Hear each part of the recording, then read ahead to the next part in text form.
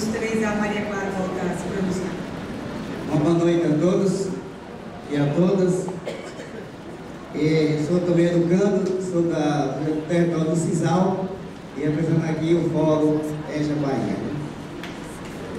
Eu me angustio muito quando a gente vê falar na educação né, continuada, aprendizagem continuada, porque a gente vê realmente, fala de evasão. É porque o aluno não tem, na sala de aula, às vezes, aquela motivação para continuar estudando.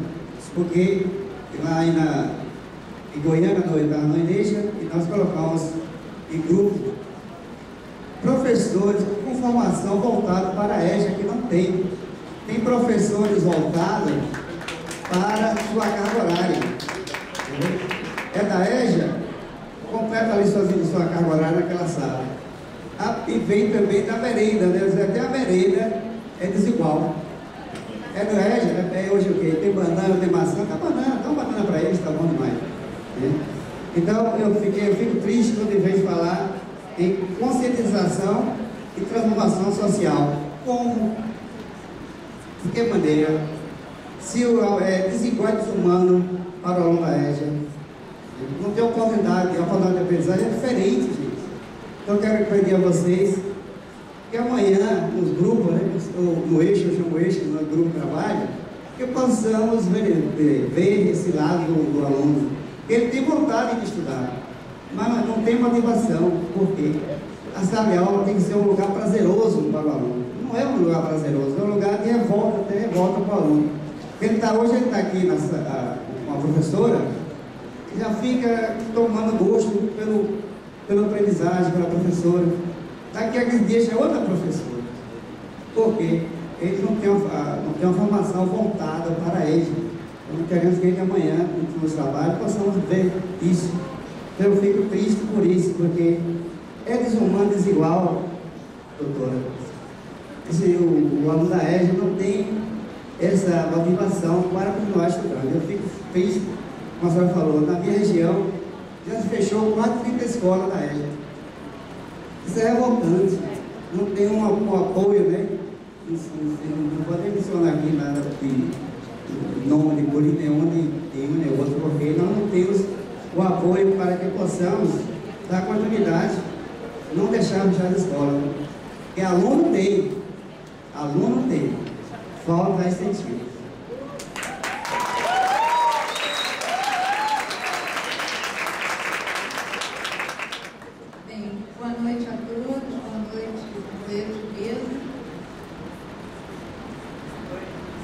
Sou Jorge Luiz, né?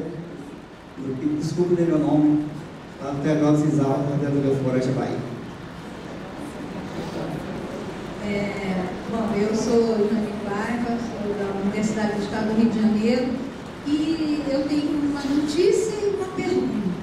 Né?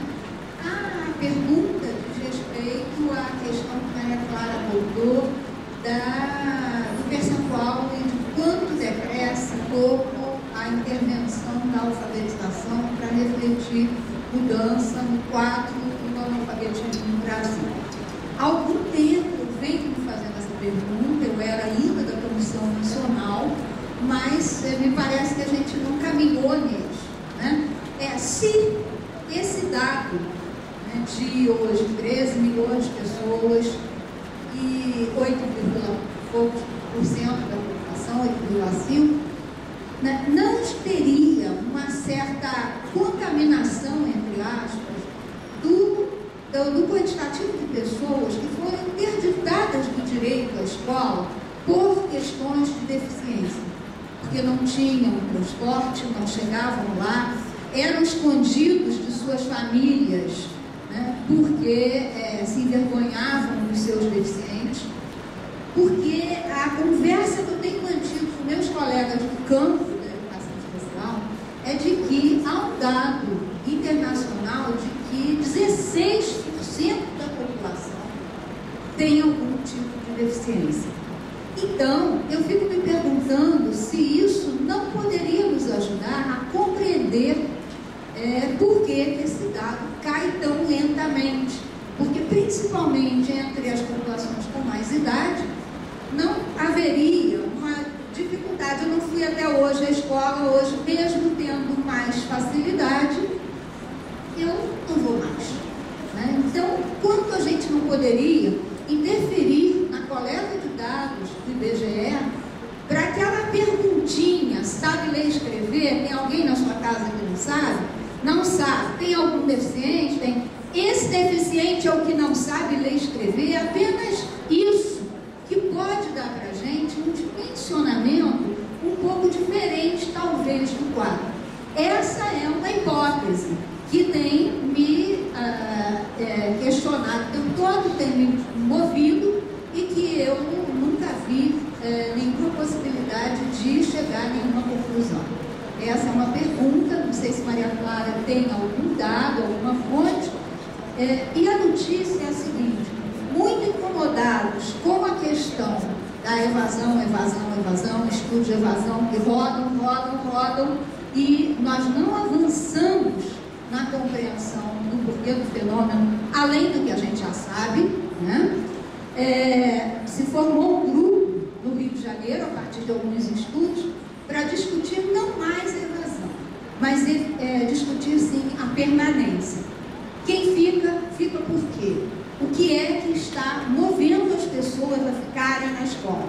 E nós estamos com um livro pronto já para sair, de algumas pessoas que vêm estudando isso e que querem contribuir com o debate e a partir de dois colóquios que nós já realizamos, já conseguimos é, produzir alguma coisa em torno da ideia da permanência para lançar como um desafio e abandonar esse viés tão negativo da invasão sem valorizar aquilo que pode ser mostrado como positivo e que pode inflexionar a política de hoje.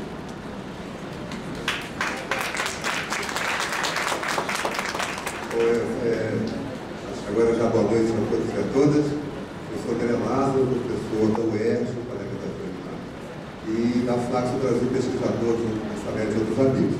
Eu queria, em primeiro lugar, parabenizar a Secretaria pela realização desse evento tão importante, né? agradecer a análise que a Maria Clara nos trouxe, e os comentários que a Cláudia fez, e fazer eh, duas ponderações. A primeira, a primeira ponderação é centralizada por falta de, de estímulo, de recurso, de meios e de pessoal.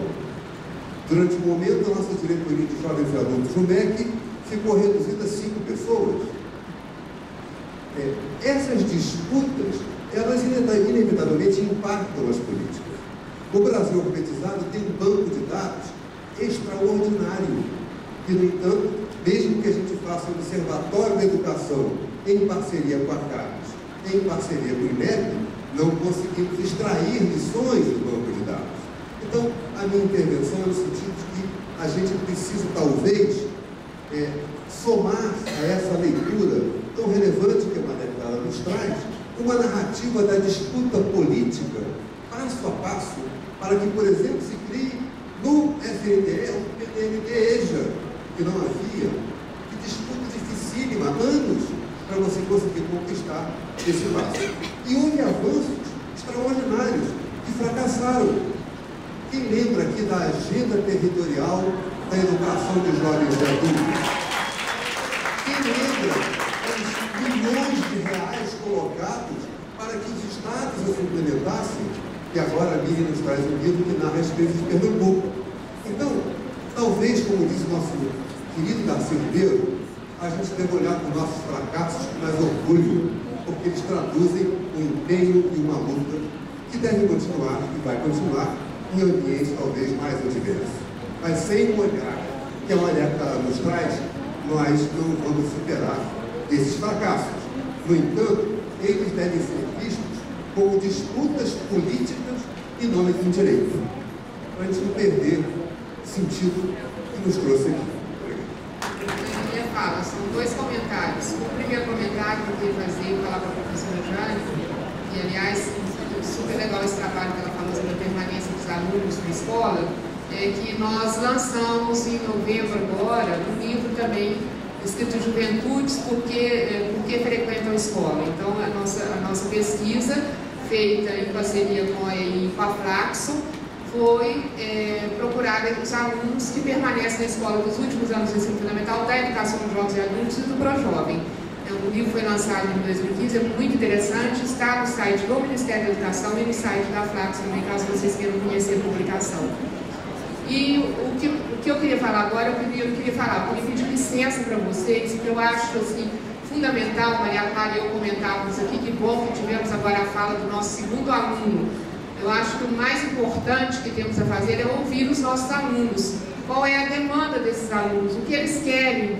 É, qual o desejo? Que educação eles pensam? Como, por que, que eles não continuam na escola?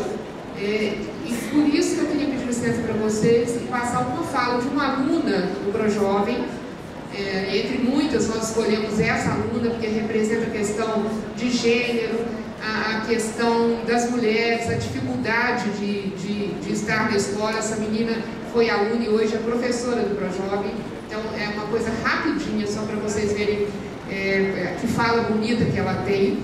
E dizer para vocês que eu acho que nós não poderíamos deixar de dizer aqui para todo mundo, amanhã a gente vai discutir isso numa oficina, mas eu gostaria de dizer que a gente sabe também que nós temos que ter várias estratégias diferentes de apoio para a permanência desses jovens e adultos nas escolas.